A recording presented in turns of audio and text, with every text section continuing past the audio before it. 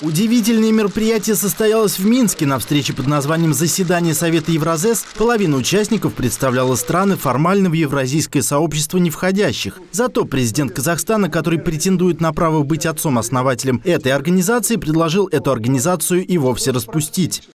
Организация Евразес нам не нужна.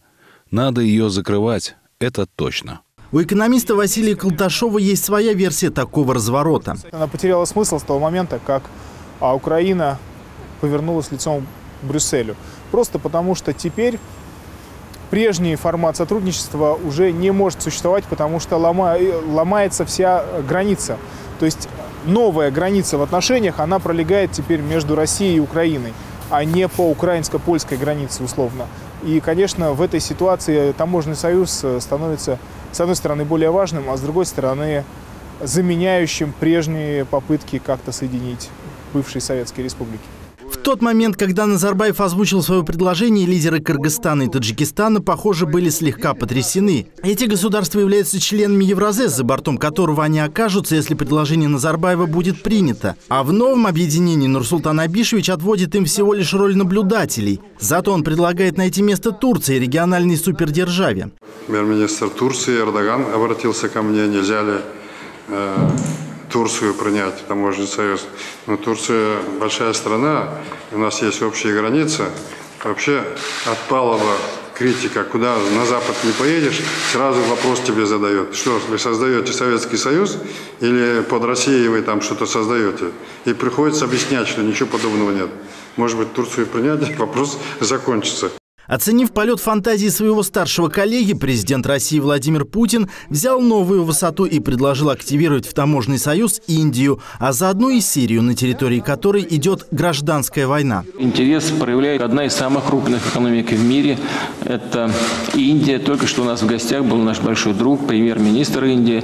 И он просил меня а, поставить вопрос на нашей сегодняшней встрече о том, что Индия хотела бы рассмотреть возможность подписания договора о зоне свободной торговли с таможенным союзом. Вовлечение Турции и вовлечение даже Индии, возможно, и Сирии в этот процесс, включение формально этих стран в Евразийское экономическое объединение будет означать, что расстановка сил изменится. Для Казахстана это означает изменение баланса сил. Что касается Индии, то пока говорить об этом всерьез не стоит, потому что если Индия даже и будет включена в таможенный союз, то в его нынешнем формате это будет означать главным образом, что индийские товары будут конкурировать с китайскими на нашем рынке.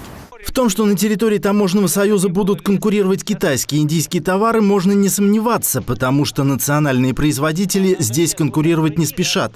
По мнению президента Казахстана, во всем виновата проклятая бюрократия. На пути движения товаров продолжают в региональном э, уровне э, причинять препоны.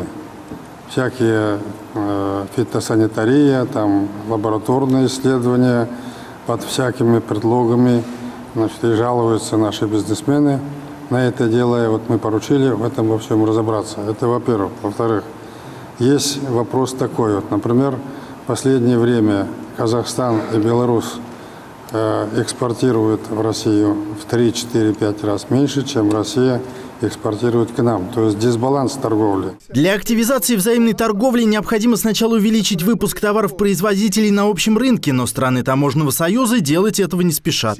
Президенты, собравшиеся в Минске, предпочли об этом не говорить. Иначе бы пришлось отвечать на неудобные вопросы, а что или кто, собственно, мешает людям развивать свое дело. Андрей Заокский, Александр Артемов, Москва, телеканал 1612.